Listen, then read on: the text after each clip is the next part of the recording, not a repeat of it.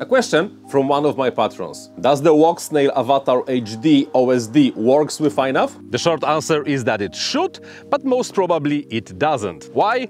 I have no bloody idea. The long answer is that yeah, it should. iNav supports the MSP DisplayPort aka canvas mode, which is not really a canvas mode because iNav works absolutely no problem with HDzero and every other OSD system that is compatible with the MSP DisplayPort protocol. There is no magic, there are no special versions of the HDzero firmware for iNav or for Betaflight, and because we know that the Walksnail Avatar HD is also using the MSP DisplayPort, it should be working. Will it ever work? Well, I wish, but to make that happen, we need samples and we need some kind of the information why it might not be working. Maybe it's just something stupid, maybe it's a user error. Bottom line, we as the iNav project have absolutely no bloody idea why. If you want this to work, there is a very simple thing that you can actually do.